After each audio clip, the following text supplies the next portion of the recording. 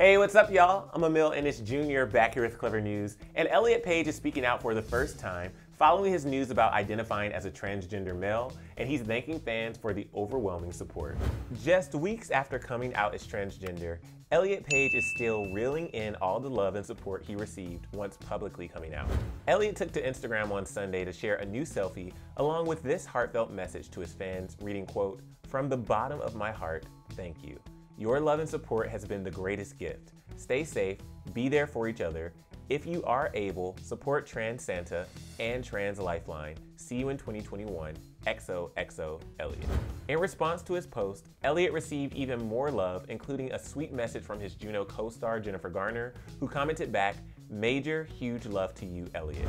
Elliot penned an emotional letter to fans earlier this month, explaining that although this new sense of self is an exciting one to say the least, identifying as transgender has caused him to take on an intense amount of fear, not for openly expressing himself, but for the lack of acceptance and hatred shown by many as a response. He explained in his statement, quote, I'm scared of the invasiveness, the hate, the jokes, and of violence. The statistics are staggering. The discrimination towards trans people is rife, insidious, and cruel, resulting in horrific consequences. Elliot concluded his statement by vowing to do anything he could to change this world for the better, and reiterating that in no means does this mean that he has doubts about his identity.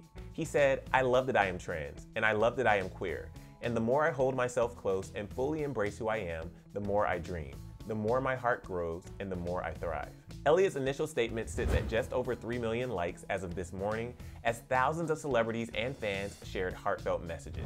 His wife, Emma Portner, also showed her love for Elliot by reposting his statement and writing, I'm so proud of Elliot Page. Trans, queer, and non-binary people are a gift to this world.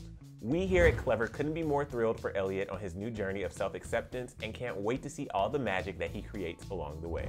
But for all the details on Elliot's initial statement, click right over here for another Clevver News video, and feel free to leave some more heartfelt and supportive comments down in the comment section below. I'm your host, Emile Ennis Jr. You can find me on Instagram at Emile Ennis Jr., and I'll see you soon right back here on Clevver News. Bye, guys.